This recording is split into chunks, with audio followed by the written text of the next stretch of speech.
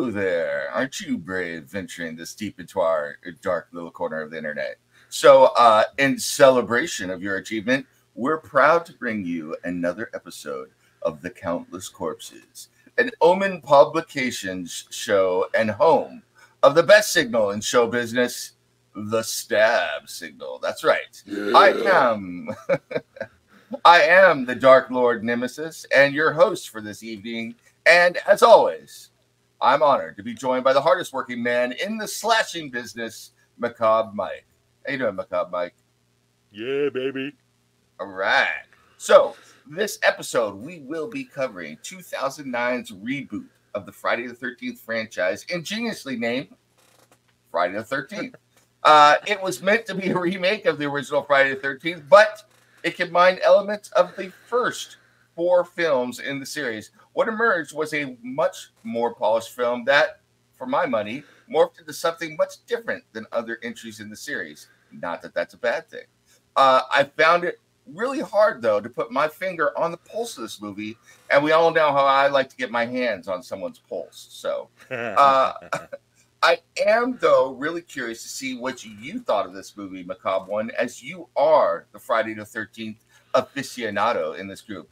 And don't say we don't spend money on this show, folks. I really had to strain the budget to come up with that sweet ass word, aficionado. It just rolls off the tongue like a six day old caviar. I mean, it's beautiful. In the meantime, I want to hand off the mic to my co host, Macabre Mike. Welcome to the show, man. Why don't you intro the stab? I mean, literally, not figuratively. Put that knife down for now, bro. And why don't you introduce yourself to everyone before we get into this thing? Oh, man, don't tease me like that. Nice, nice. Seriously though, uh, this movie grew on me as I watched it more and more, and watching the two-part documentary, Crystal Lake documentaries, didn't hurt either. Uh, the 2009 reboot definitely has a different feel than the rest of the franchise, uh, but I like it. Uh, it brings the franchise into a modern setting, amalgamates parts two, three, and the final chapter, and I kind of like the survivalist Jason protecting his territory take on the man that would be the silent but deadly. Uh, honestly, I don't know how they could have accomplished those things uh, in another way. I, I, I don't know. What do you think about that, Dark Lord? I get it. You know, I get it. And if I'm being honest, I dig it. A boy, his knife, in the camp where his mother died. I mean, it's pure American nostalgia there. And let's be honest, the only difference between this movie and, say, an 80s classic like Red Dawn are the American flags and the prospect of World War III. We put Jason in that situation, and he's a national fucking treasure. Am I right? Right? Uh, so, um, but yeah, let's break this thing down. So, why don't you start us off on pre-production, man, and let's get into this movie. Actually, on that note, I mean, if you think about it, um, Freddy Krueger is a child molester and a child killer. And we celebrated him. He was a fucking child's toy. Little kids dressing up as him for Halloween and shit. I mean, goddamn. If we can do that to Freddy, I think we can do that for Jason. That's all I'm saying. Absolutely. Absolutely. All right, though, let's dive in. Platinum Dunes Michael Bay, Brad Fuller, and An- Andrew Form, who had made the 2003 and 2006 reboot T- Texas Chainsaw Massacre films, uh, were brought on as producers uh, for the 2009 reboot.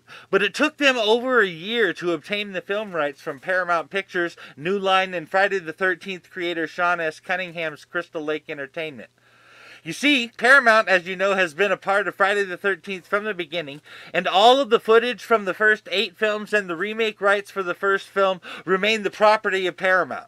Jason Voorhees, Pamela Voorhees, Crystal Lake, and the name Friday the 13th, however, have belonged to New Line since the early 90s, after the commercial flop of Jason Takes Manhattan. Platinum Dunes producers wanted to be able to use the scenarios and characters from the film still owned by Paramount, and of course, New Line's Jason Voorhees Voorhees, Pamela Voorhees, Crystal Lake, and the name Friday the 13th. There was a legal dispute at first, but the companies decided to co produce the 2009 film so that neither of them would look bad uh, for not being part of the film if it, if it was a success, which was a big part of the dispute. You know, neither of them necessarily wanted to put their foot in, in, into the whole thing, but neither one of them wanted to look bad by not being a part of it if they didn't. So I, I guess that's why they came to that decision. Now, Bay, Form, and Fuller had made both the Texas Chainsaw Massacre films and the 2005 Amityville horror remakes period pieces set in the past. But since the new Friday the 13th film was not going to be a remake, then there was no reason that the setting for the film could not be in the 2000s instead of the early 80s. And I have to say that I like the modern setting for the film. If I want the classics, they are right there for me to watch. Let's see something new, is what I say. But as I understand it, Michael Bay, Brad Brad Fuller and Andrew Form chose a familiar face as the director of the film, didn't they, Dark Lord? Absolutely. But uh, first off, while I will say that it was strange to see Friday the 13th modernized, once it got going, I really got into the film. So I got to give it to him. So uh, you are also correct, though, that they did choose a familiar face to direct the movie. Marcus Nispel. Uh, this was director Marcus Nispel's second remake of a classic horror film. Uh, his first remake was 2003's Texas Chainsaw Massacre, which was also produced by Platinum Dunes. As a general rule, I do I have to say I'm not a huge fan of remakes, with some notable exceptions. Rob Zombie's Halloween being one of them. I also have to add that I have never seen any version of the Texas Chainsaw Massacre, if you can believe that. It just never appealed to me. Growing up near the Mojave Desert, I figured I could see a real life version of the Texas Chainsaw Massacre of the film anytime I wanted by venturing deep enough into the desert. So I missed out on those films. you know, um, just as a little side note, our mutual friend Steve Sellers, who, yes. who lived in Texas for quite a bit of for, for quite a bit of time there, uh, said that the first Texas Chainsaw Massacre movie, the original, felt very authentic just to give it an extra level of creepiness. if you said something there, I didn't hear it. No, I was just laughing, but uh, I have oh. to say that uh, Steve saying it feels authentic is is a, not a great selling point for Texas. That's all I'm going to say. you know, I, I personally love the reboots of the Texas Chainsaw Massacre way more than I like the original two Texas Chainsaw films. I could not even finish the first film. I made it wow. 50 minutes in, and that was it. That was as far as I could go. I could not see no more. And the second film was just fucking weird. It wasn't scary at all. It was just weirdness. Uh, there, there, was nothing in it for me there. Uh, but, but I have watched the 2003 and the 2006 films many times, and I loved them. There's plenty to be scared of in those films. They come with my personal recommendation, Dark Lord. Very cool, very cool. Perhaps I will check them out someday. Though the question is, would you personally recommend a lone trip out into the Mojave Desert? Now that's the question. no, no, I would not. But a lot of problems get solved out in the desert. yes, they do, and they get left out in the desert too. But uh, uh, yeah. that, that was that was a casino reference, by the way. yes, there's a lot of holes out in the desert. Great movie, yeah. Casino, by the way. That's a freaking outstanding movie. Uh, yeah.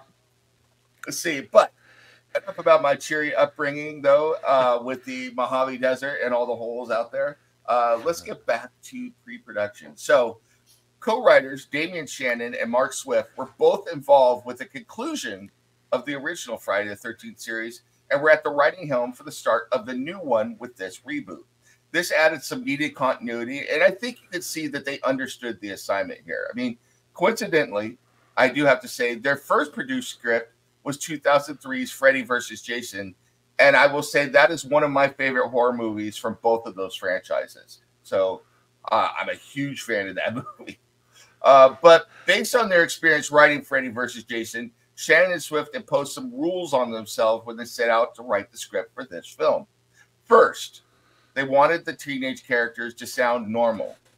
And I dig that, especially after we're coming off uh, other movies that had uh, preceded it. Shannon and Swift wanted to avoid the Scooby Doo trope where a bunch of kids go off sleuthing as they seek to solve the mystery of their friends getting hacked and slashed for our entertainment well, oh, Shaggy, Jason's coming to kill us, you know.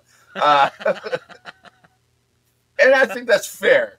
Uh, I mean, I know that if a bunch of my friends got gutted by a freaky mofo like Jason, intellectualism would go out the fucking window, and I would be cursing like a horny sailor with the clap as I fought for my life. So I fuck out of there. Uh, but on that note, not just a horny sailor, but a horny sailor with the clap. Like, goddamn, yeah. that's a swearing motherfucker. yeah, it is. I'm fucking running away. Um, but on that note, the writers wanted the kids to speak in a normal manner and not to be in possession of knowledge that they would otherwise not know.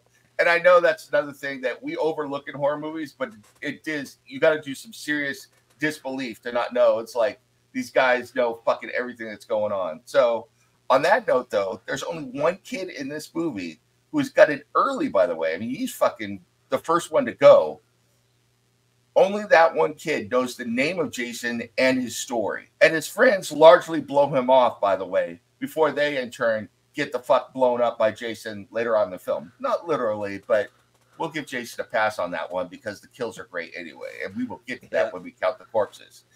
Uh, but you know, that's the way it goes. So why don't you tell us about the writer's vision for Jason, Mike? Well, you know how I mentioned that Jason stops running as as of part six when he becomes zombie Jason? Up until that point, he would actually run after his prey, and his movements were much faster and more agile. Well, Shannon and Swift wanted to go back to that, and my guess is that that this is in no small part because they based the reboot on parts two through the final chapter. Uh, but they also chose to reinvent Jason's reason for killing a bit. Rather than just killing anyone who happens to come along, Jason lives off the land and people on his turf mean taking away resources. So Jason in this film is just protecting his territory like a wild animal would. This wild man, this hunter idea, was particularly inspired by John Rambo in First Blood from 1982 at least for Derek Mears, the guy playing Jason in the 2009 reboot, is concerned. Uh, to Mears, the similarity is both Jason and Rambo being calculating and setting up people to fall into his traps. Uh, Jason has been wronged, though, by the murder of his mother, and that is, of course, a part of it as well. Jason does still have a sympathetic a- aspect to him. Mears also said he related to Jason the victim when he was growing up, and he wanted to portray Jason as a victim in the film film. To Mears, Jason represents people who were bullied in high school, specifically those with physical deformities for being outcasts. Did you want to say something? Nope. Just remarking on the, the amazing uh, part of that, making him like Rambo. That's pretty fucking frightening. But I'm sorry I interrupted. Keep going. No problem, no problem. Uh, but as Brad Fuller uh, and Andrew Form learned on the Texas Chainsaw Massacre at the beginning from 2006, you do not want to make the killer too sympathetic. So they decided against an origin story. They felt that focusing too much on his tormented childhood would lean too far into that and work to demystify the character in an unhelpful manner. Fuller said, We do not want him to be sympathetic. Jason is not a comedic character. He is not sympathetic. He's a killing machine, plain and simple. Those were some conflicting ideas, but it seems to have worked, if you ask me. How about you, Nem?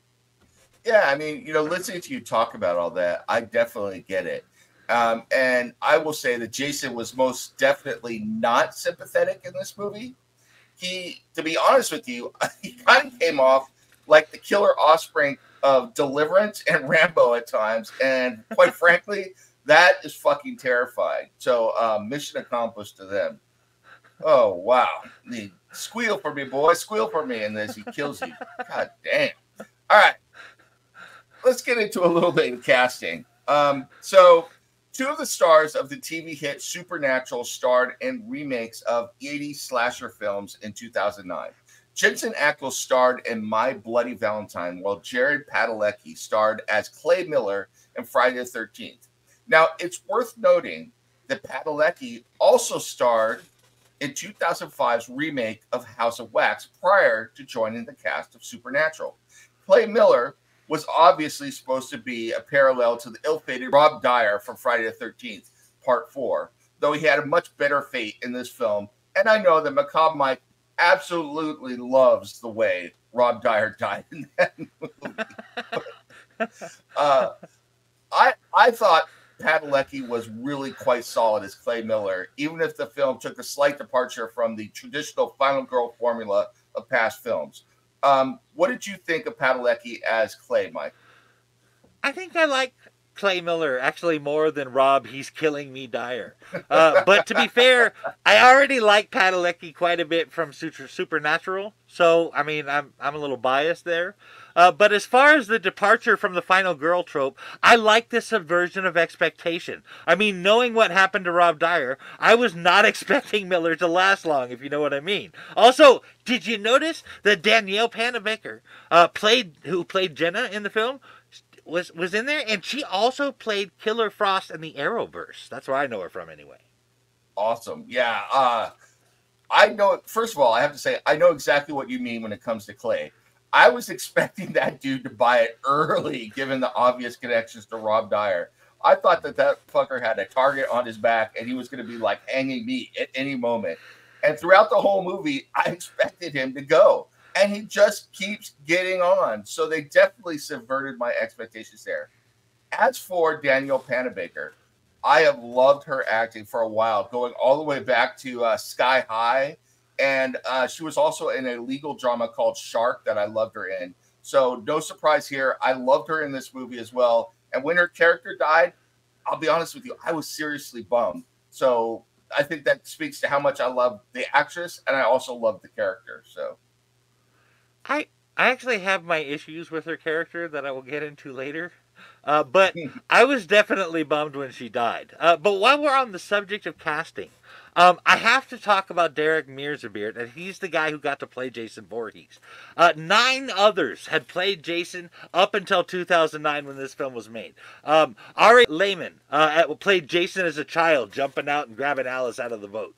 Um, and uh, Steve Dash, uh, one of your one of your favorites, you liked him, mm-hmm. and Warrington Gillette in part two, uh, Richard Bro- Brooker uh, in part three, Ted White, another one of your favorites in the final chapter, Tom Ted Morga White. in part five, which we won't talk about because that movie sucks balls, C.J. Graham in part six, and the man Kane Hodder, the, the only actor to have played Jason more than once in part seven, eight, and Jason Goes to Hell and Jason X, and Ken Kirzinger in Freddy vs. Jason. Uh, that is quite a legacy of shoes to fill, and in my opinion, Derek Mears did a good, great job. Uh, but he almost didn't get the part. The problem is that Mears is actually a very nice person with a pleasant demeanor. I mean, like overly nice. Like you wouldn't think there was even a mean bone in this guy. So nice and pleasant, in fact, that the, the studio questioned whether or not Mears could even pull off pulling a brutal killing machine like Jason Voorhees. But Mears, who is actually a cage fighter with daddy issues, his words by the way, assured them that he could turn it on when he needed to. And Mears did come at the recommendation of special effects makeup uh, supervisor Scott Stoddard uh, and other industry professionals. Although Mears was unaware of this. Mears Mears had simply heard about the film months back and started physical training for the role and auditioned. wow, talk about catharsis. I mean, so uh, Mears, how did you get over your daddy issues? Uh, well, uh, I let my inner Jason out on 2009's Friday the 13th. Oh shit! uh, you know, it makes me wonder what horror character I need to play to exercise my issues. Uh, chime in, everyone out there, and hit us up at, at FTC2 on all my socials and let me know what horror character do you think I need to let my inner demons out. So, oh nice. man, God Almighty! All right, enough of that. Enough of that fantasy work. You know, we could do therapy stuff later. So, uh, I will say though that one very interesting note that also happens to be very strange about this film Michael Bay, yes, that Michael Bay, was involved with this film as co owner of Platinum Dunes. Now, one of the characters in the film, Trent, is played by Travis Van Winkle. Trent is an arrogant, anal, muscle bound asshole in the film, and he ultimately buys it. More on that when we count the corpses. But it just so happens that Travis Van Winkle also played a character with the same characteristics named Trent DeMarco in 2007's Transformers, directed by, wait for it, Michael Bay. But wait a minute, there's more. There's a strange twist here because, okay. according to Michael Bay, the Trent in Friday the 13th and the Trent in Transformer are the same character, meaning that Transformers and Friday the 13th are in the same universe. What? Now that is some crazy shit. I mean, what do you think, Mike? Do you think do you think, you think Feral Jason is going to go after Bumblebee if he hides out at Camp Crystal Lake? Do you want to see that movie, by the way? And if Shia LaBeouf's character ends up at the lake, who are you rooting for? And when Megan Fox have made a good final girl, I am flabbergasted. Like you said, mind blown. I mean, is it wrong that I want to see Optimus Prime fastball special Jason at Megatron? That would be fucking dope, man. wow. Okay. Um, that's a lot to answer all at once, but um, I will best. I will do my best to do so before we get into production. Uh, the Jason from this 2009 reboot would absolutely go after Bumblebee if Bumblebee came into his territory. On the flip side of that, if Optimus tried to fastball Special Jason, he might just pull back a four fingered hand for his efforts. as far as Megan Fox goes, I am not sure how she would do as a final girl. I've only seen Fox in one horror movie, Jennifer's Body, and I was impressed with her performance there. Uh, so she could potentially pull it off, but I mean, it's hard to tell if she was the bad guy in Jennifer's Body. She was the evil, you know, demon possessed woman in that movie. So that I mean, that's not final girl material. so then, and then that's really my only other basis of comparison. Really is is the Teenage Mutant Ninja Turtles. I, I don't remember the Transformers movie enough to say whether or not I would root for Sam Witwicky, uh, but I can say that I do not have the issues with LaBeouf that uh, many others do. How is that? It's it's it's all good, man. It all works. And personally, I think Megan Fox is more likely to go bad girl as well and she would probably be the Friday the Thirteenth version of Harley Quinn, whatever the hell that looks like. So, God, that is fucking terrifying right there, and I'm I'm down for it. I want to see that shit. Um, Actually, there is a there is a um, you know how they have parody accounts and stuff on Twitter. Uh, yep. There is somebody that that uh, portrays themselves as Jason's daughter. So the concept for that for that is really already kind of out there. You know, wow. maybe Megan Fox could do something like that. that would be great. Uh, let's see. Yeah, she'd be like luring people in. Then Jason comes out of the bag. He's like, "Why are you messing with my daughter?" What? You know. So, fuck. I got one rule. You know, you can sleep on my farm, but I got one rule: don't mess with my daughter. And then Megan Fox comes out, and you're fucked. So, uh, anyway. we all know how that we all, we all know how that rule ends. Yeah.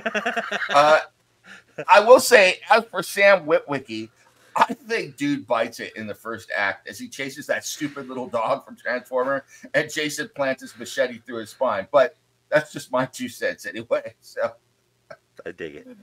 All right, let's get on into production and principal photography. So speaking of Jason, Scott Stoddard said his visual effects design was a combination of Carl Fullerton's design from Friday the Thirteenth Part Two, a movie that both you and I like, and Tom Savini's design on the final chapter Yet another movie that you and I both like.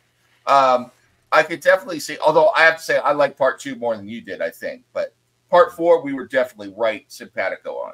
I could definitely see that in design. And as we go from the potato sack chic look from part two to the classic hockey mask that Savini used in the final chapter, uh, it was absolutely fantastic. So excellent designers. Excellent. Good job with the Jason sheet. So thank you, Tim Gunn. I don't know that you will make another appearance today, but thank you for showing up. Uh, so, oh man, it's early or Just late. the here, fact folks. that Tim Gunn showed up on a horror podcast is horror in and of itself, man.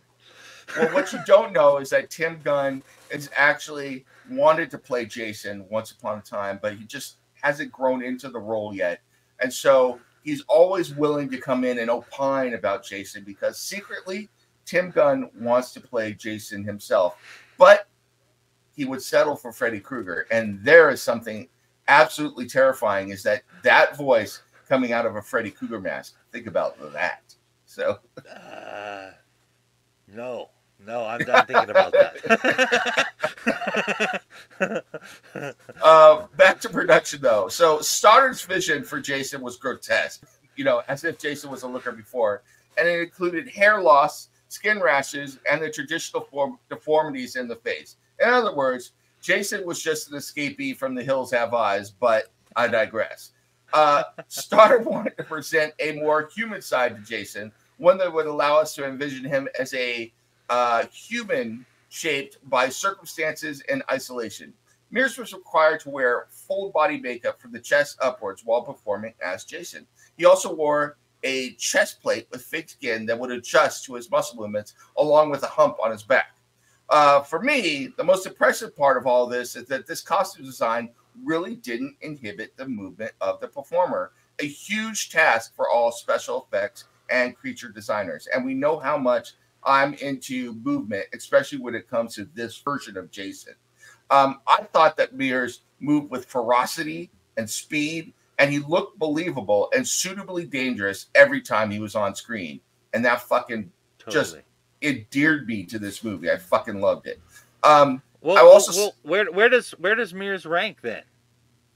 Uh, in the Jasons that I've seen so far, that you've seen so uh, far, if between Ted White and uh, uh, what was that the first guy's name?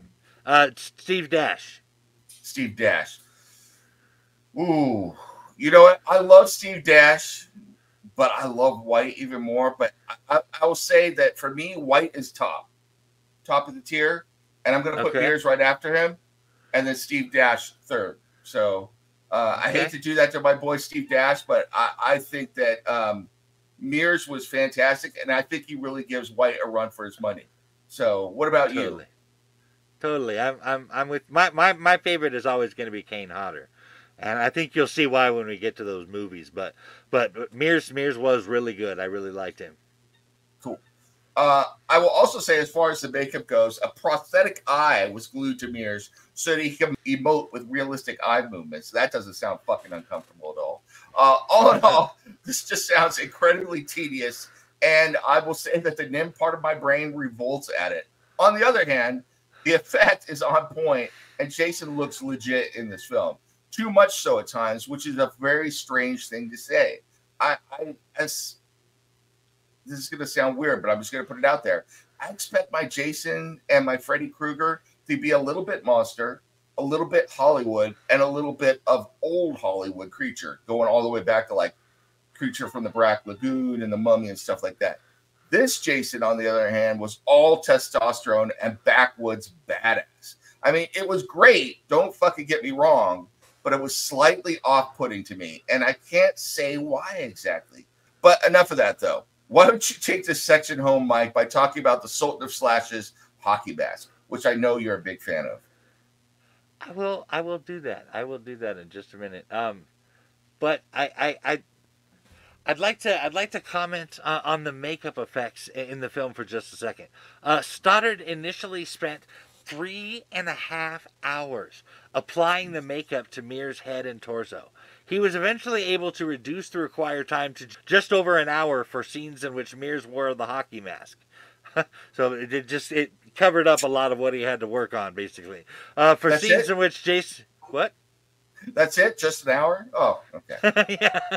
Well, o- over an hour. He couldn't even oh. get it down to just an hour. For scenes in which Jason's face is revealed, it took approximately four hours to apply that makeup. Oh, shit. Uh, do you think you could go into work for several weeks of shooting and sit there and have all that done, Mike? I honestly don't think I could. And Lord help you if you get an itch during that whole fucking process. So uh, I think we need a stab signal for all the folks who apply this makeup and the poor bastards who have to sit there and be worked on like a fucking 74 Pinto. So.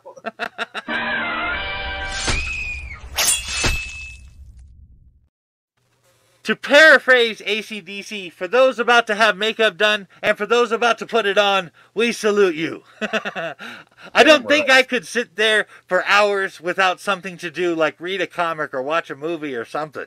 Uh, but let's move on to the mask itself. Uh, just like with the makeup and with the writing, Jason's mask was inspired by parts three and four uh, when when he wore the hockey mask. Scott Stoddard use the original mold from the final chapter, as the one from part three no longer exists. From that mold, he made six different versions of the mask because he didn't want to take something that already existed.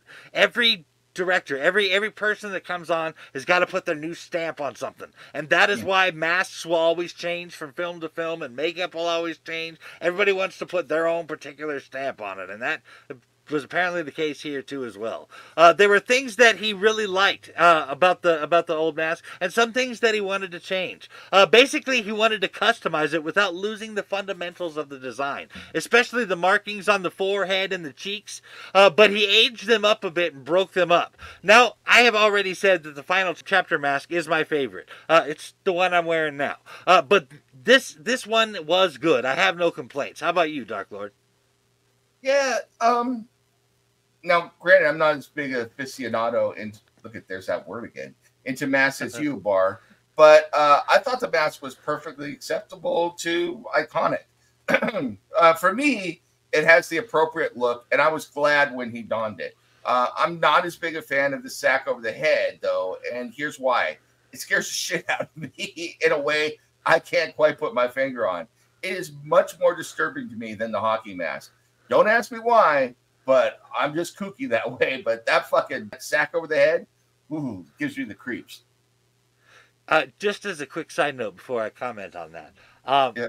I, I think I think that one of the things that I really liked about this reboot is that we actually got to see Jason get the mask. In part three, when he, when we get it, oh, we, we, we don't even get to see the kill happen. Uh, we just get to see the body left over. We just see him go into the room where he's at, and then he comes out wearing the mask, and the guy's dead. I I, I really I, I, I prefer how they did that in this particular bit here. Also, when he puts the fucking mask on, doesn't it feel like you should get like you should get an achievement, like he leveled up or something in a video game? you know, so cha-ching, little thing goes yeah, up on the screen. Yeah, exactly. you, you get a perk point, you know. So but but but as to your your sackhead thing, um, perhaps your fear comes from two real life serial killers in the Phantom Killer, aka the Phantom Slayer, from 1946 in Texarkana, what the the town that dreaded sundown is based on, and the Zodiac Killer in the Bay Area in 1968 and 1969. Granted, with the Zodiac Killer, it was a bit more than just a sack on his head, but you get what I mean. By the way, by the way, little quick notice well, one of the reasons I linked the two is it is theorized by some because the Phantom Killer was never found from 1946. They, they have no idea who he was. Nobody discovered him. But and the Zodiac Killer might be the same person. Both of them, like it, and, and it might be an evolution thing that where we're talking about there. With the Phantom Killer, he wore just the sack on his head.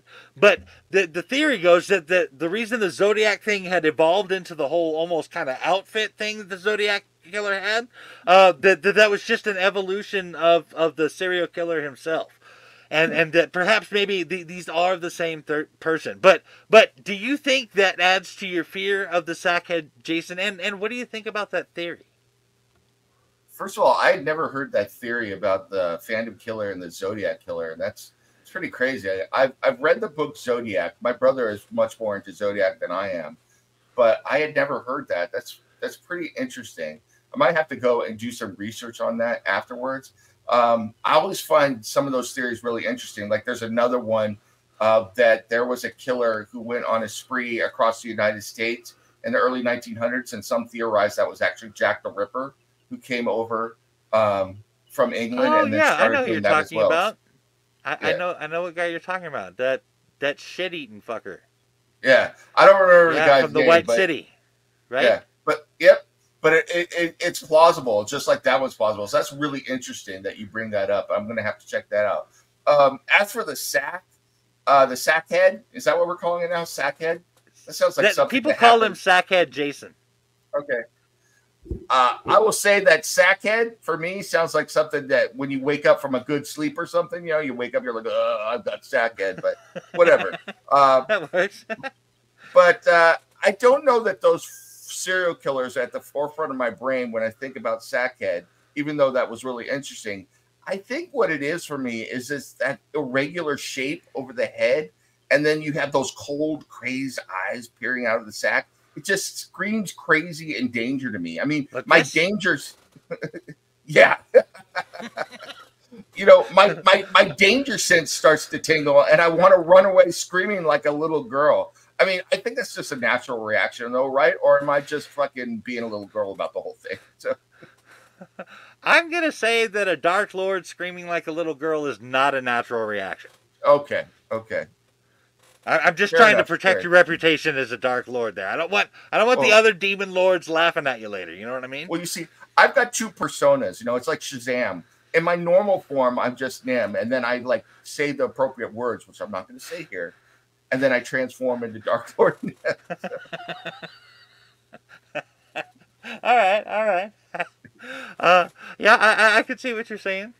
Uh, I, I, guess I guess I was just curious if your if your mind went there like mine did. Uh, but I I tend to go to serial killers a lot. That's just kind of where my brain goes. But uh, Richie had a pretty cool death. Uh, you, you you remember you remember when Richie died, right? Oh yeah, yeah that, absolutely. That was that was pretty sweet, and a nice blend of practical and CGI effects. Uh, director Marcus Nispel usually only allowed minimal use of CGI effects in his films, and this is one of those movies that I refer to on how to blend CGI and practical effects well. But Nem will get into more of that in a minute. For this kill, Mears was holding a handle of the machete, and, and, and on and on the handle was a half a blade, which made it look like it was buried into Richie's head. The CGI mm. crew filled filled in the rest of the machete blade so that it looked whole, and even added the skin sagging on Rich's face a little bit to make it look like there was nerve damage or nerve severed. Uh, but what what did you think of the FX here, Dark Lord? Plus, I know you have some other scenes to talk about as well. Absolutely, absolutely. Um, now, I will say that uh, that CG work was very well done, and I think the technical work on it was also top notch. You know, we always love to talk about special effects and CGI here and how it holds up or doesn't hold up and blending and stuff. So I was really looking forward to this section for this movie in particular. Um, I will also say on Richie's kill, one of the things that I've learned a lot about in the past couple years was uh, lighting and how hard it is to do that and to have it match the actual lighting for the CG and what was done on set. And the ambient lighting on this CG face is incredibly well done, uh, especially for the time in 2009 and I think the effect really came off. They must have taken a lot of light samples and they managed to light it well. Uh, probably mostly because it was at night, so it's kind of easier to do that with the lighting the way it worked. But still, it looked really good. Um, yeah. Let's also, yeah.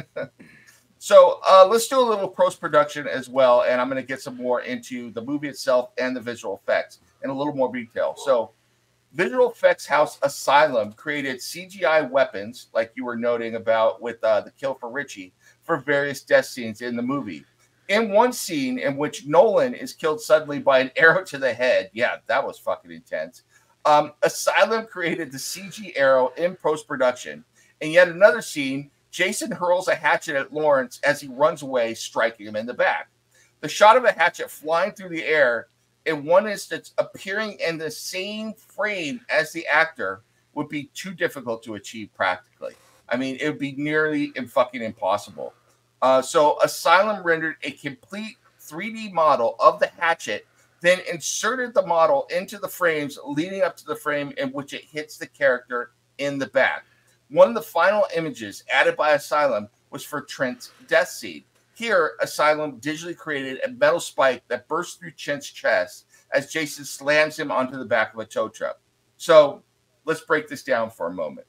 I think Mike and I have twi- talked quite a bit about the proper use of CG and practical effects and how the two complement each other. Um, in fact, Mike brought it up before. It's one of our favorite subjects. And I do have to say that Asylum had some very nice blending of practical and CG effects in this movie, particularly in that hatchet scene and in the arrow scene. Filming those weapons actually flying through the air as they head towards the victim would require some iffy camera work and a lot of fucking edits and cuts. Um, mm-hmm. it would also have required slow camera work with fake weapons that would then be sped up to create the illusion of danger. And the thing is, is when you do that, the brain always sees that and tells you that something's wrong, even though it looks okay on the film. Um, but in this case, we have some great CG work, and that is enhanced by practical work when the weapon actually strikes the victim. It's great stuff. I could not agree more, my friend. I, I, think we can both point to the 2009 Friday the 13th reboot as an example of how to blend those two those two effects properly, and an example of how it can how good it can really look when it's done right. I think it is the superior way to do special effects, and I'm pretty sure that you agree with that, Dark Lord. Absolutely, absolutely. I mean, it's one of the themes, like I said, that we've hit on continuously, and I hope we never let up. Horror movies are visual and visceral. And CGI can help you get that visual, but I have to say, nothing beats practical effects for pure visceral shock value. Be guts and blood spurting out in real, you know, in real time, real practical effects gives you the visceral nature of the kill as well. Hell yeah. Hell yeah. Awesome. Now, all that said, I'm not as big a fan of the work when Trent is killed. This is a fairly straightforward shot, and I wish they had stuck to practical effects here with some great gore and human juice to go with it. I thought you would like that human juice. uh, there are a number of ways they could have accomplished this kill practically, and it would have given us that visceral sense of murder that makes girls swoon and boys yearn for spring nights. So, uh, what do you think of all that, Mike? How did the final effect strike you, and what did you think of the Trent kill as well. Um, I have to agree that, that this is a shot where they didn't deliver quite as well. For one, you can barely make out what is run through Trent. It looks more like a chainsaw, like without a chain on it, with how it is shaped. Uh, but when it comes to putting him on the back of the tow truck, uh, they could have, at the very least, used practical effects once he was on the truck. This this kill could have been much more cooler than it was, in my opinion. Absolutely, as always you are right on point, my friend, when it comes to gore and gruesomeness. Most oh macabre one. So, why don't you take yourself an evil piece and a stab signal for being right on point as always? Damn. Whoa. Evil piece? Oh my god, oh my god.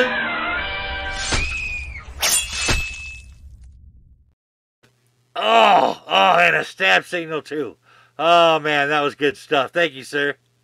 You are most welcome, sir. You deserve it. You are always bringing everything to the show, and uh, I know you love yourselves. A little evil piece with some stab signal to go with it. So enjoy hell it, yeah, friend. Hell yeah, a little stab signal sauce too. now, uh, as for uh, post production here, the final bit I have to bring up is the use of music in the movie. Um, now, one of the things that appealed to me about the original Friday the 13th films was its minimal use of music. In fact, you introduced me to this, Mike, and once I picked up on it, I really dug it because the only time you hear background music it was is when Jason's on screen, and it's only his you know theme that one, yeah, uh, which is iconic.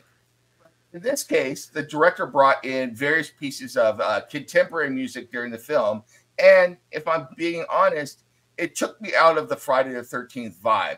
It's a little thing. It is a little thing but after cramming a bunch of these movies into my schedule lately, it really stood out. At times, the introduction of these characters, uh, along with the music, had me confused, and I sometimes wondered if I was watching Friday the Thirteenth or Final Destination. So, you know, it is what it is, though, and the movie was still great for it, but it is a departure from the original films. So, enough about old Nim and his hangups. I'm old. I'm a Dark Lord. I'm going to be passed up by Macabre Mike, and he's going to put me down into the pit for all time. But until that happens, why don't you get us started on the movie itself, Mike?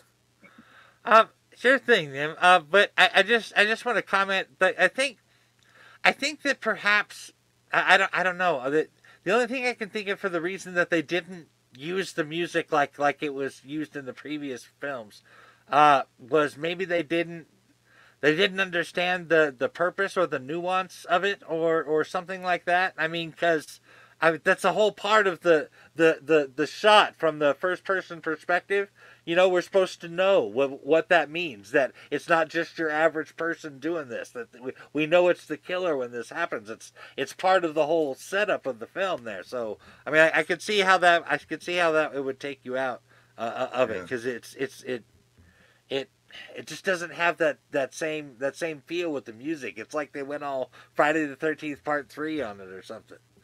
Yeah, I, I think the other part of it is that um, this movie, that specifically that part, Um, I think it's just because this was post Scream. You know, once Scream came along and introduced, um, you know, pop music or or or metal and stuff into it, and it became popular like that. And then you you had Final Destination, and I know what you did last summer, and blah blah. You know, on and on and on.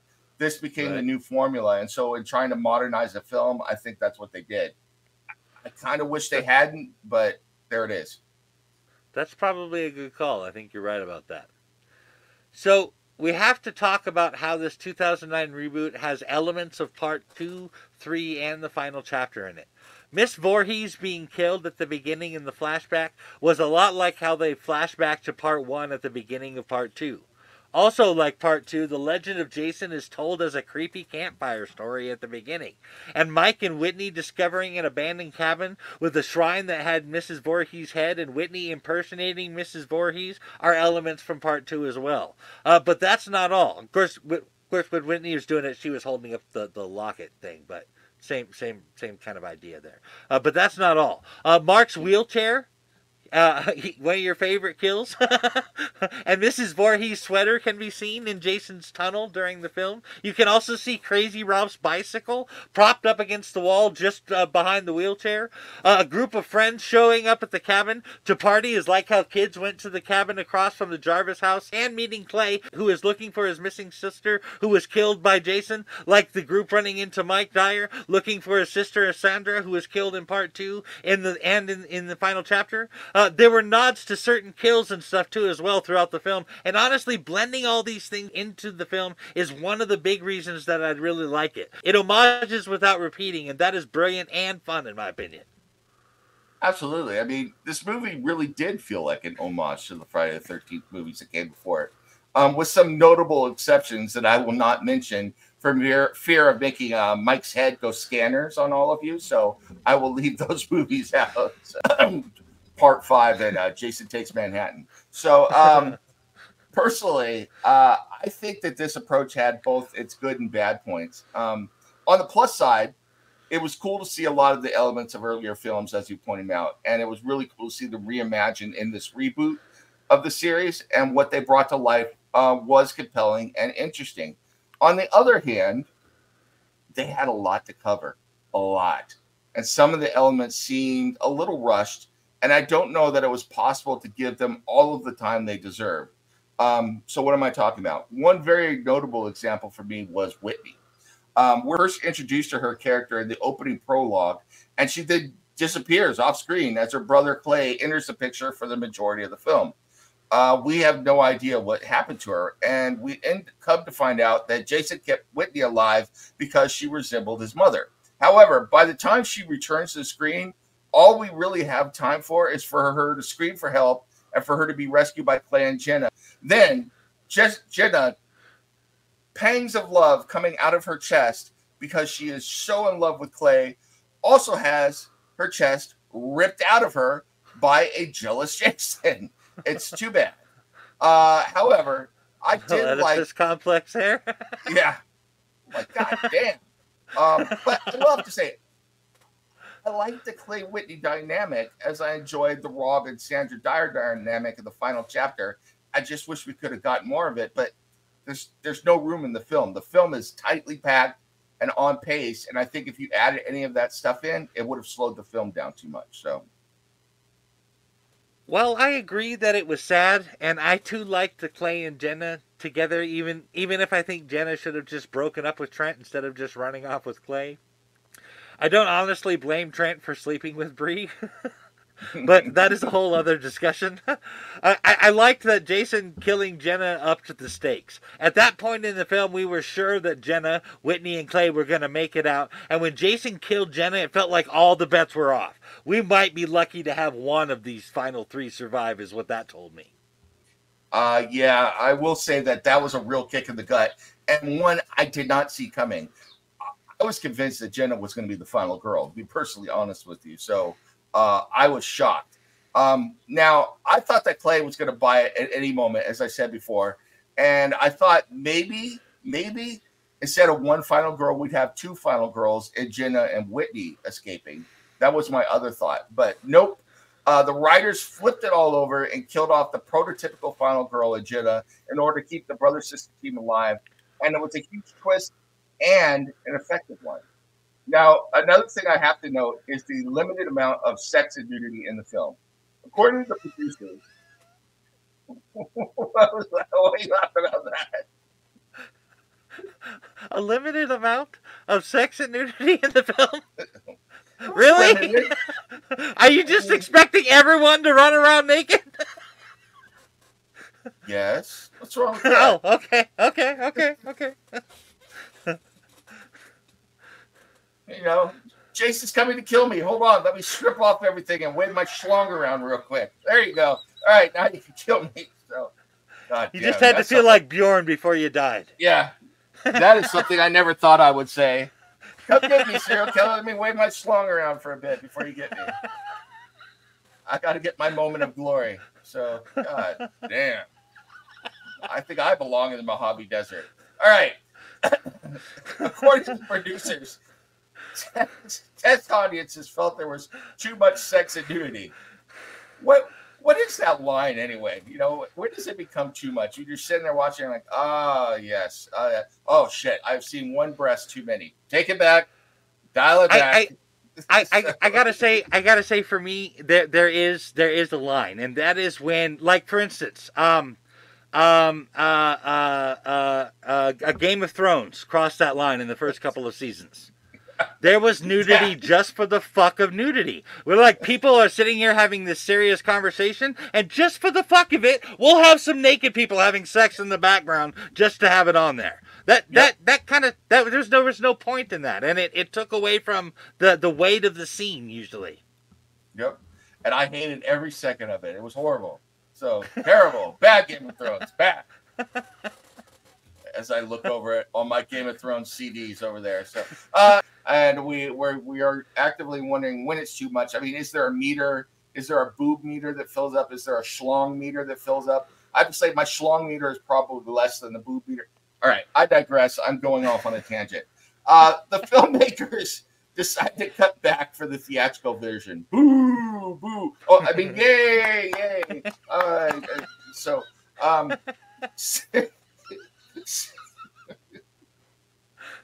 I fucking, I am a, I am a dirty old man. There it is. All right, seriously though, I think this really illustrated the generational shift in the horror audience.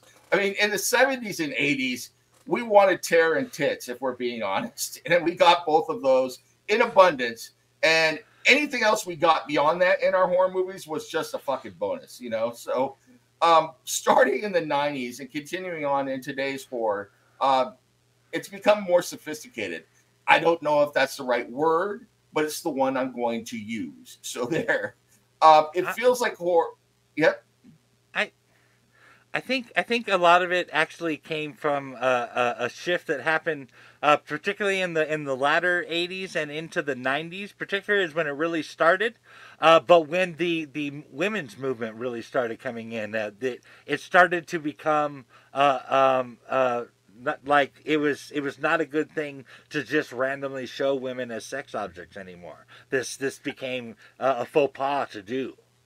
Absolutely. Plus, I think that when you were doing those movies like they did in the past, um, you were limiting your audience. I mean, most women weren't considered horror fans at that point, you know, and women are very much a huge part of the horror fandom now. And I think the reason was is that you were only appealing to, you know, men who were going to go to the horror movies and those lesbians who were into terror and seeing naked women.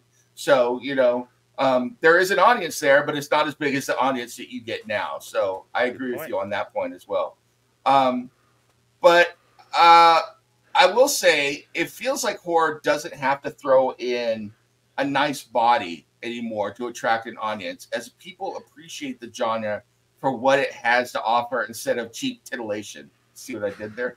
So, um, anyway, let's have a stab signal in memoriam for cheap titillation as we celebrate the new age of horror. So,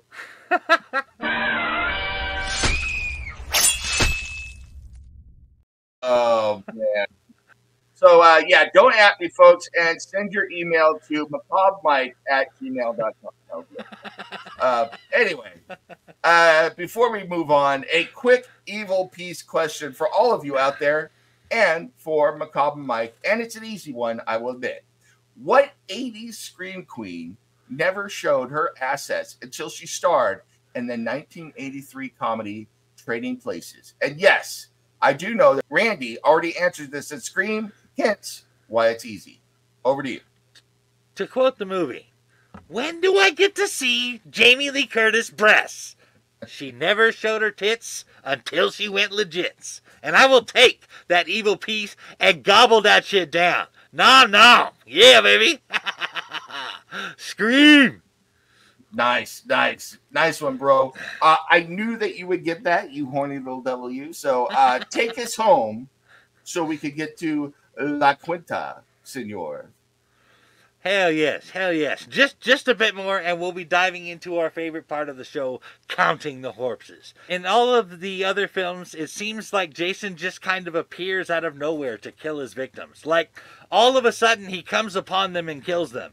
But in this reboot, we, we see that Jason actually set it up so that Jason has dug out a system of tunnels so that he they go all over the area and he uses them to get around. In fact, the whole area is set up with tripwires and that rings bells down below so he knows when someone or something is up there. I like this a lot and I think it adds to the territorial hunter aspect of Jason that they were going for here. A hunter survivalist Jason would absolutely set up his territory like that in my opinion. How about you, Nem? Uh, tell us what you thought about the tunnels and then we'll dive into counting the corpses. Yeah, I mean, as I said before, um, this Jason in this movie is some sort of backwoods badass, an alpha male who has marked his territory. He's also a bit of a genius, to be fucking honest, and an engineering sa- savant. I mean, there's a lot going on here, and Jason is sort of this renaissance man out there in the fucking woods who could do almost anything. I mean, where do he get this goddamn knowledge? Who knows? And honestly, do we really fucking care? I don't. So, uh, more power to you, Jason. May you never find me and Macabre Mike and keep killing all those kids out in Crystal Lake. So, and it is now time to contar los cadáveres. That special time when Madman get giddy and what once was gruesome becomes positively gory. That's right. we are going to count the corpses. Are you ready, sir? Yeah. Oh yeah, baby. All right. Corpse number one is an old favorite. Good old Pamela Voorhees makes a cameo appearance and loses her head once again as the character formerly known as Alice Hardy gives the machete chop the old college try. Jason decides to take Mama's cabeza and head for the hills. See what I did there? That won't come back to haunt anybody. But unlike Alice, though, this co-ed chopper gets a little head and then fucks right off, never to be seen again. Jason does not pass go, and he does not collect two hundred dollars. Better luck next time, big boy. Uh, that always reminds me of that crypt keeper when he when he cut off the cut off that girl's head, it flies off Yeah. in the air and lands in front of him. I love it when a woman gives you a head and lets you keep it. See, that's, that's, that was the titillation I was talking about, folks. But enough about that. We already gave our, our honorarium to it. So I, I think that Jason did not go after Alice because Jason's motivations in the reboot are different. In Friday the 13th Part 2, Jason is motivated by revenge to kill kill Alice because she chopped off his mom's head. So he tracks her down and sticks an ice pick in her temple. But in this reboot, Jason is only concerned with living off the land and protecting his territory. What do you think of that? you know, I can see that. I can see that. And uh, you know, Jason stalked out his territory, and Alice got to waltz off into the sunset after chopping off her head. So you know, everybody's happy there. So good for them. Nice. uh, corpse number two was Wade. He is all excited to have found what might be three or four wild grown marijuana plants, which the creators have obviously never seen. Uh, those were clearly grown with hydroponics, the one they had on the thing there, but whatever. Um, either way, uh, minute, Wade and on, Richie. Hold on, hold on. You can't just say that and just gloss over it. You have so much knowledge about what's grown in hydroponic. Mike, Mike, are you giving us a little insight into you? I mean, we need to know more. hey, I, I, let's just say I've been around the block a time or two. Okay. okay. Okay. Okay. You you've done extensive studying and reading online. Okay. Good. We're good. Yeah, that's what it is. Studying and reading online. Yes. Yes. Good. Good. Um, All right. Either way, Wade, Wade and Richie are under the impression that about 2,500, maybe 3K worth of Mota at most means living easy like the rich folk. And they're also under the impression that rich folk just relax. rich folk don't relax. That's why they're rich. And, and, that's if they don't smoke any of that. And if they do all the work themselves. Sure, they could make some cash, but please. I'm not going to say they deserve to die, but both he and Rich dumbasses in a game they don't know shit about. Either way, it seems that Jason doesn't like folks messing with his weed, and so, like John did to the Roman soldier in the garden, off went Wade's ear. It also looks like maybe Wade's throat was slashed in the process. I mean, Jason came down with some serious force, showing you that you don't have to live by the sword to die by one. We don't actually get to see the kill, but that is my inference. What do you think about that, Dark Lord? And did you appreciate the biblical reference there? I, I absolutely did. Although I find it interesting that uh, we went biblical with this, with the weed and, and dumbasses and everything else. But hey, you, sir, are a genius in and of yourself, able to bring these disparate things together. So kudos to you, sir. In fact, why don't you take a stab signal for bringing the Bible and weed together like that? So thank you.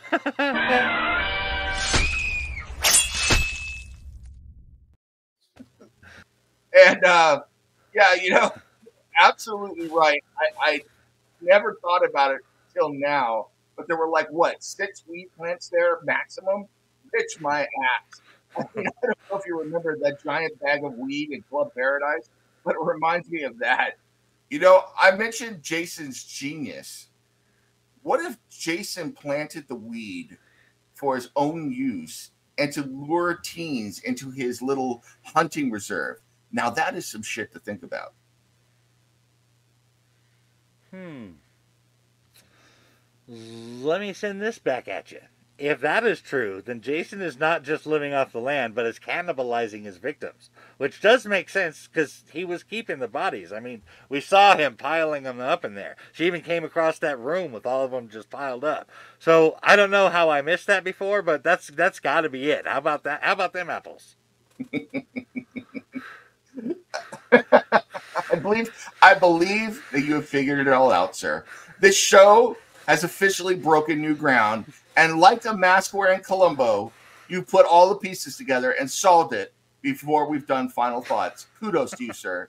That shit right there is metal as hell. And now I need to rewatch the movie with that in mind. Holy shit balls. Take yourself another stab signal for that. God damn, I'm racking them up.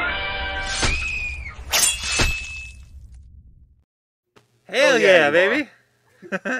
My mind is now officially blown. So uh, I, I, guess we have to get back to the killing. And of course, we want to go back to the killing because yes, we're countless corpses, folks. So um, Amanda is up next. Now, after flashing her assets to Richie, Wade catches wind that the Tatas are free and that Richie will soon be a mountain climber. So being the stand-up guy he is, he goes away to meet the end Mike just talked about. I, have to give him credit for that. Wade, I salute you for that. You're a dumbass, and you thought you were going to get rich, but you weren't a cock block. So good job for you, sir. So, uh, but as he is beginning to climb the mountains, Richie hears a noise and goes off to investigate.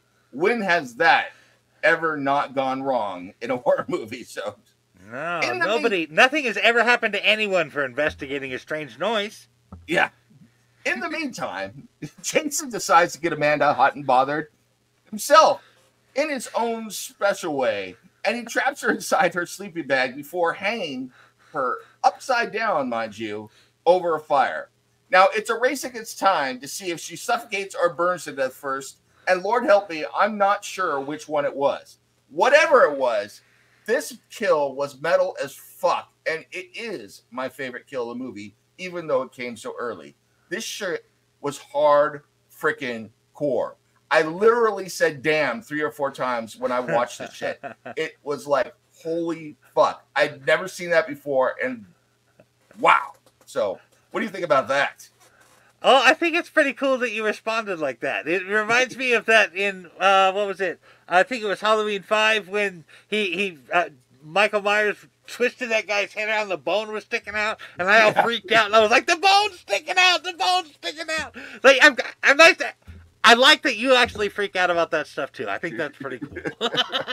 that that was pretty badass, and a step up from putting her in a sleeping bag and just smashing her up against a tree to kill her.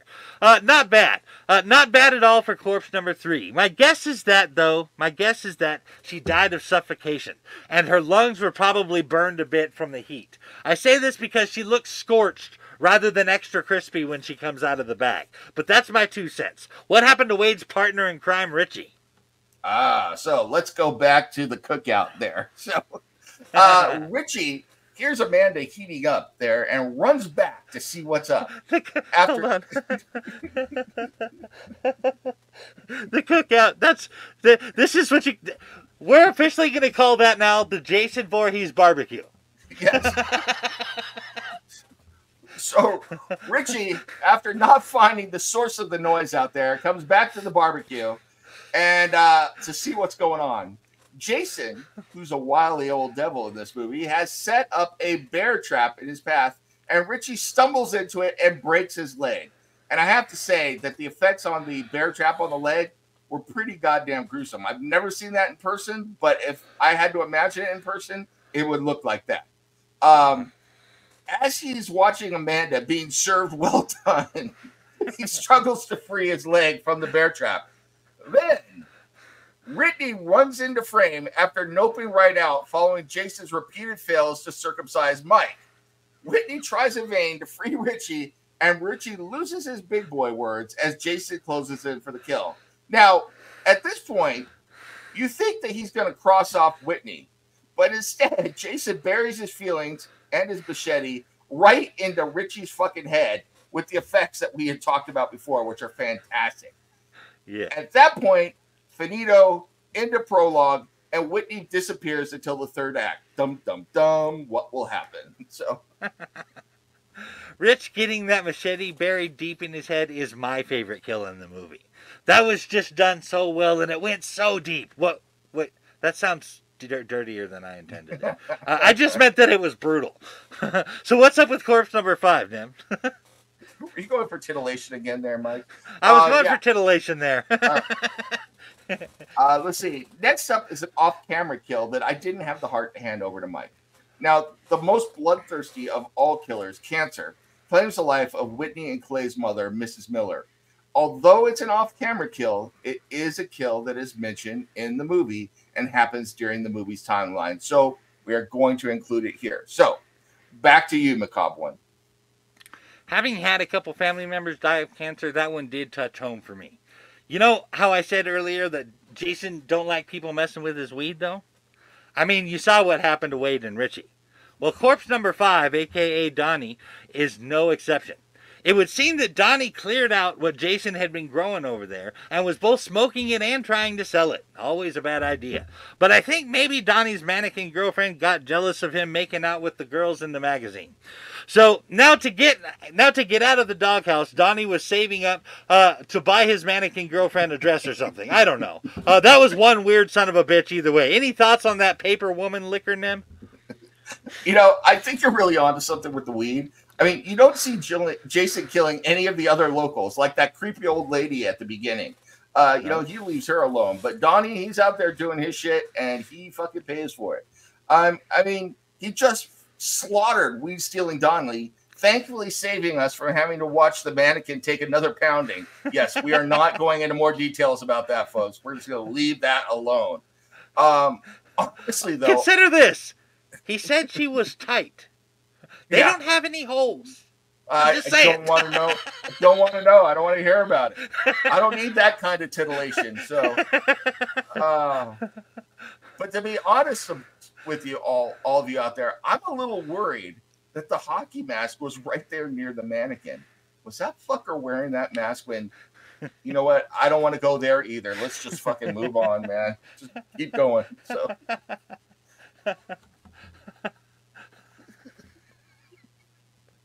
oh my gosh. Okay, yeah. okay, okay. Clear the cache. Clear the cache. Okay. Uh, Nolan is corpse number six, and he he was just minding his own business, driving a topless water skier around Crystal Lake. Next thing you know, he has an arrow shot right through the back of his head, and he dies and falls into the steering wheel, spinning the boat around towards corpse number seven. Honestly, I didn't like Nolan and his complete lack of respect for other people's property and his whole "I'm gonna do it just because he said I can't" bullshit. What a fucking child. Anyway, uh, what's up with numero siete? I, you know, first of all, before I get to numero siete, kudos to you for the Spanish there. I have to say, I, didn't like Nolan either. He was kind of a dick, but god damn, Jason is, is harsh, man. Jason is not an easy person to cross. You get on Jason's bad side, and he's going to let you fucking know it. So, Yeah, Uh, and you only know it for about a second. Yeah. So, uh, corpse number seven. So, after Nolan takes the arrow to the eye, Chelsea waits for Nolan to circle around for her, and she proceeds to take a friggin' motorboat to the dome. And this doesn't kill her, folks. Not by blunt force trauma, not by drowning, not by blood loss. No, she's toughing it out like a virgin on an 0 for 29 streak at Mardi Gras. So then, as Chelsea is swimming into shore after friggin' tanking the motorboat, she happens to notice that Jason is waiting there to give her a little something something. So Chelsea becomes a swimmer now and bolts for the pier. Now, Jason builds up our anticipation, stalking around like a squirrel looking for a nut before thrusting his machete down, right down into Chelsea's dome through the slats in the pier. Then, like the soul that he is, he raises up the body for just a moment. So we applaud Chelsea's rack. Let's give her a rack sound of applause. And then she slides down to her final rest at Crystal Lake. Now that's entertaining. Uh, well, you know, actually, th- this is this is one of the things I was talking about. That that well, well, the shot was obviously gratuitous nudity because they had to have her topless. Uh, but there was a bit more to that scene than just an opportunity to show somebody naked. In that particular scene, Jason had thrust the machete down so far into her skull and body that she had to hit up against the pier to break free from the blade. Actually, I, I thought that was kind of cool in that regard. True, true.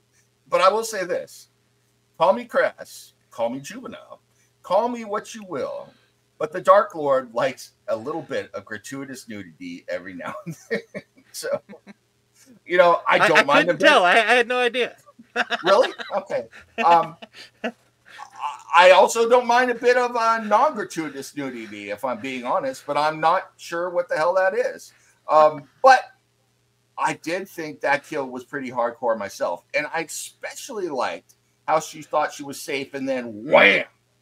I'm not too sure that the blade wouldn't slide out when you tried to lift her, but if anyone was able to jam that sucker in there like that and get it stuck down so they had to wedge her off with the pier, it would be Jason. So I got to give him the, the points for that. Fair enough. Fair enough. I, I think I think we're I think we're pretty close on that one. Yep. Uh, Chewie is corpse number eight, and he is the type of guy that is a whole lot of fun at the party for the first, I don't know, half hour or so until he gets wasted. And then he is annoying as fuck and falling over and breaking things. What a schmuck. Chewie gets roughed up a little bit before taking a screwdriver to the throat. I'll bet he is regretting ordering that drink. Seriously though, uh, when when Aaron Yoo, uh, the actor who played Chewie, was performing his death, he was genuinely choking on blood in his mouth. Uh, but Wow. but, but, but- yeah, he just went with it as just to get a better take. That coughing and choking, that's real. He's literally doing that. Mears asked him if he was okay when the take was over. He's like, Jesus Christ, man, are you all right? You know, because it, it it took him a, a minute to recover. He said that he was fine, but you know he had to go for it for the for the you know just to get that good take. And Mears told you, you are way too dedicated, kid. God damn, it, man, this it's not like this is Shakespeare or something. Shit. Get a drink of water. We'll reset. Holy crap. Um, but no, that kill was good, and you know, credit to, to Mr. Yoo there for what he did. So good job to you, sir. we enjoyed watching you die. That's something that you can take with you to the rest of your career. So that is a weird thing too. You know, I was the guy who died and choked on blood. You know, here at this point of the film, I was like, "Oh, that's very nice." You know, so uh, let's see. I, I, don't know. There, there, are some actors that are willing to go all the way like that, like Nicolas Cage.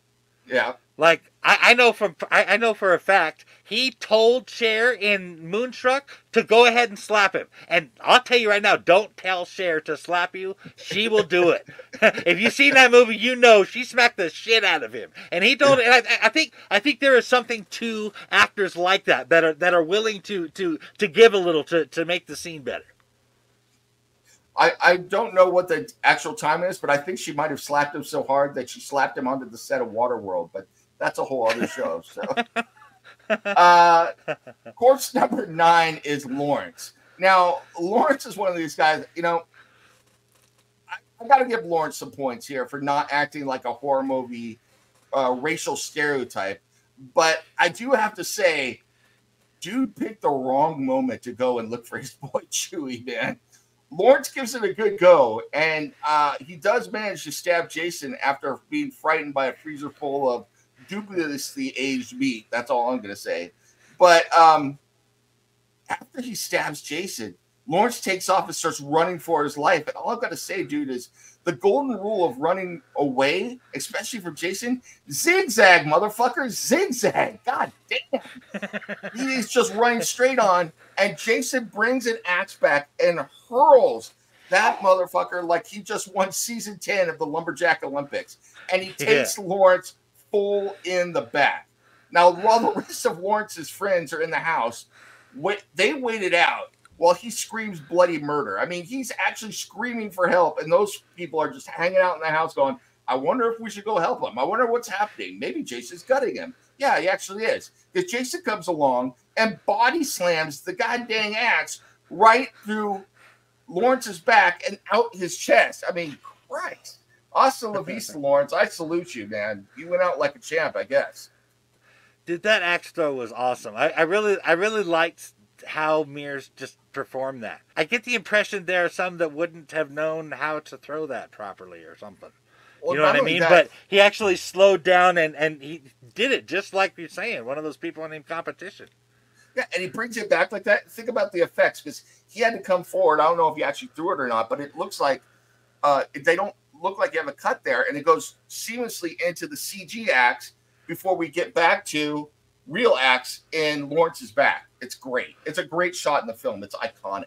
So totally totally that that actually was just awesome in general but i really like i really like the way that they they filmed that and that and that thud as the axe severed his spine but now we have to talk about Stupendous Bree. And yes, I'm calling her Stupendous Bree. Is corpse number 10. Jason picked her up and shoved her back first into some deer antlers that were hanging on the wall, or perhaps even welded onto the wall, or uh, as uh, as well, or I, I don't know. All I know is that somehow those antlers were able to hold her, hold up the weight of Stupendous Bree. I don't know how that worked, but it did. And if that did not kill her, then Trent firing three rounds into her back through the door like a pussy firing a gun, it, it was a it was an okay kill. Uh, nothing to write home about though. Uh, why don't you tell us about corpse number eleven, Dark Lord? Well, looky here. Bree's dead, but the cops have finally showed up. How nice. Officer Brack rolls up with his lights on and half a donut hanging out his ass before he comes comes on up to the door as chill as could be. He knocks on the door.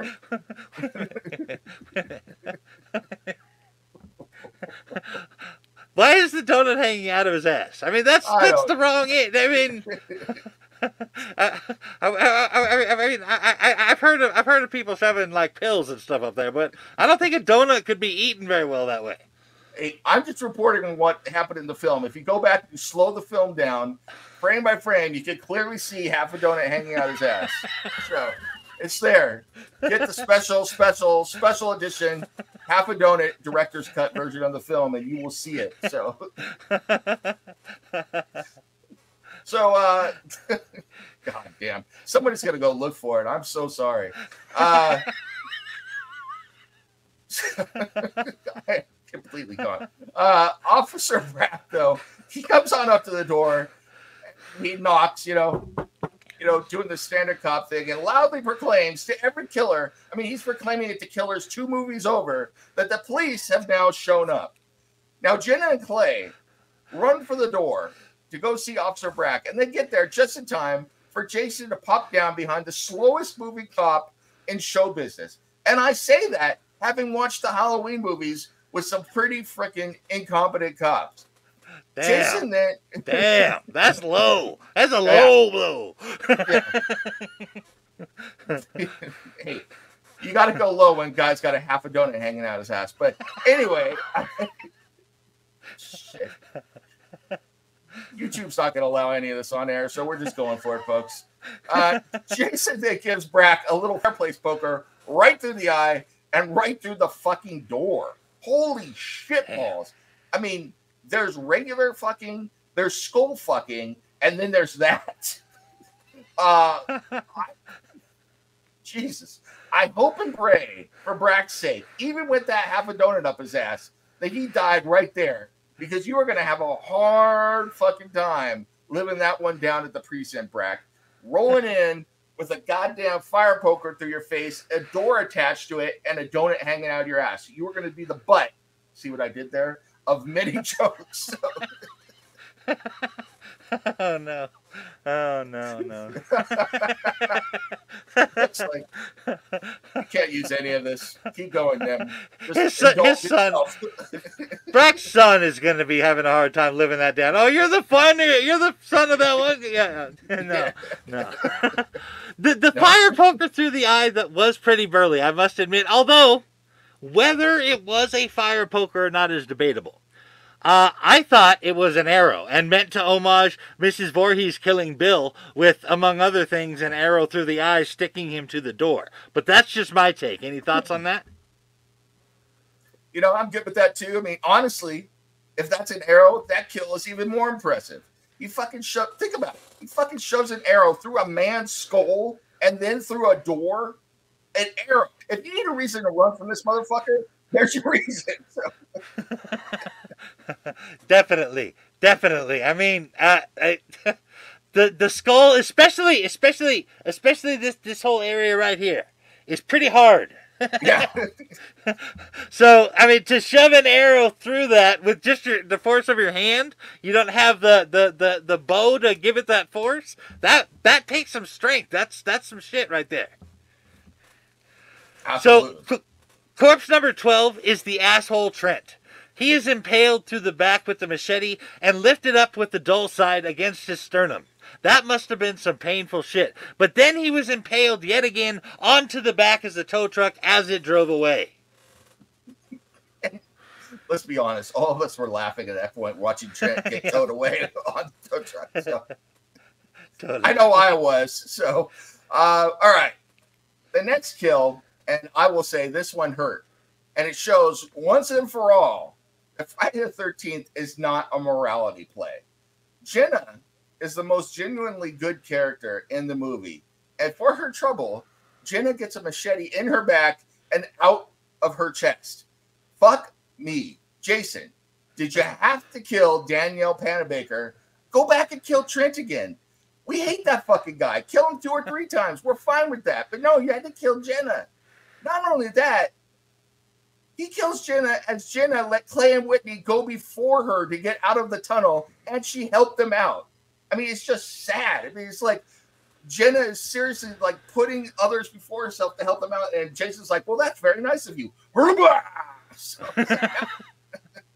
Yeah, yeah, that was that was that was messed up. That uh, like we talked a little bit about that earlier. That that that really messed me up having that happen. Uh, it, it it threw a whole wrench into my whole program of what I thought was going on with this movie.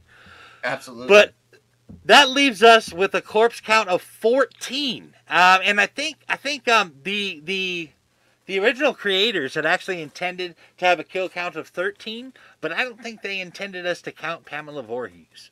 Haha, but we did. So we have a f- count of 14. With all of the homages to get to the franchise in this film, I tend to want to view the final scene with Whitney getting pulled down into the lake as an homage uh, to the dream sequence ending. I think Jason is still hanging there uh, in that wood chipper, you know, because it, it showed him just kind of bouncing there like this, but it wasn't going into the chipper itself. Like it couldn't pull him all the way in. Uh, but but again, that is just my vote. Uh, do you have an opinion on that before we go into final thoughts on this, Ned? You know, um, yeah, I'll, I'll agree with that. You know, once you put that theory forward, you know, maybe he came out of the chipper, but I doubt it. You know, and we needed it. We needed if we were truly going to pay homage to those first four films, we needed that you know dream sequence there with the with him coming up out of the water. So I I like that idea. Uh, I really like what you're saying there. So I'm going to go with that. I like that ending, and I think it works pretty great. So cool, good one, Mike nice call there. And I think that Countless Corpses will definitely put our stamp on that ending. So, hell yeah. all right. So, final thoughts, everyone. Uh, that is Friday the 13th, 2009. And by our count, Jason has killed around 200 people over the course of the Friday the 13th movies. Uh, that's a big body count, folks. Um, now, while that's not pandemic level material, for a man in his machete, that is a serious killing spree. So I will say that uh, I enjoyed this movie, and while parts of the movie took me out of nostalgic Friday the Thirteenth, as I mentioned, I thought it worked as an updated entry in the franchise. I thought the writing, acting, and visual effects were good to excellent, and the little criticisms I have there here and there are from a fan who has watched a lot of Friday the Thirteenth this year. Since it's been 15 years since this movie was made, I'm guessing they decided not to make this a franchise, and more's the pity. However, I'm guessing that that horror on the big screen has perhaps moved on from Jason for now. But that's all right though, since I do know we can look forward to more of the story in new entries on the small screen, and Mike has talked about that in several of our previous uh, podcasts. I will say that I give this movie 4.5 out of five skulls for kills, and I will give it four out of five skulls for overall rating. Overall, it's a very fun movie to watch. Nice, nice. I can totally see that. That that that's an absolutely fair take. Um, if I may comment though, before I divulge my final thoughts, um, it was actually legal disputes over who owned the rights to making the movies and who created what or who was hired. Um, it was all a big mess that still is still hampering uh, making Crystal Lake, the the small screen show you were talking about. Uh, people mm-hmm. have been trying to make more Friday the 13th films for over a decade, and quite frankly, it is amazing that this one made it to the screen. You know, I hate that shit. I understand it, and I certainly want the right people to get credit and compensation for their work. That said, I worry that a lot of this is greed and corporate shenanigans, and that makes my ass twitch in a bad way. what do you think about that for our final trivia question? And what rom com is this ass twitch I refer to from there, Mr. Macabre Mike? That phrase is from the French chef Luc from the 1995 film French Kiss. That guy's ass twitches a lot. Maybe it's trying to tell him something. I don't know. But I'll take that evil piece and I will gobble that shit down. Thank you, sir. you know, uh, make make sure make sure you watch the evil piece first. It's, you're eating an evil piece based on ass switching. That's all I'm gonna say. all right, all right. Damn it! I wish you'd have said that before. Uh, never mind. dip it in the river. Dip it in the river Styx before you eat it. So. Okay. Okay. As for my final thoughts, I can agree that this is different from the classics. But like Mike said uh, about the piano in the Voorhees house looking like it was from another century, so were those classic films. In my opinion, they did the best modernization of the franchise while paying mad respects to the film that came before. I don't honestly know how this could have been done better uh, beyond minor nitpicking. Uh, to tell the truth, I would point to the 2009 reboot as an example of how to reboot a franchise with respect. As for the kills, I thought they were fairly decent. I think I can match your 4.5 out of 5 skulls for the kills, and I'm going to go 4.5 out of 5 skulls for the film, too. Bam. Cool. Awesome. Awesome. And I think we're, it looks like we're pretty darn close on our scores there. So very good. Very good. Um, so thank you so much for watching, everyone. This one has been fun, and I can't wait to see what we talk about next. Make sure you check out our other materials, such as Fellowship of the D20 and the Circle of the Seven Dice Both of them TTRPG shows, tabletop role playing game shows, for those of you who are up to date with your acronyms, that both Mike and I are a part of. Also, go get your Omen comics from the anyoneworld.com or Comixology sites. Finally, if you're looking for some of my written work, you can pick up my novel, The Long Game, or my comic series, OPSEC, over at asapimagination.com. So, kiddies, until next time, remember this fuck that Raven and bust a cap at his ass before he can save it nevermore. We're out, everyone. Bye.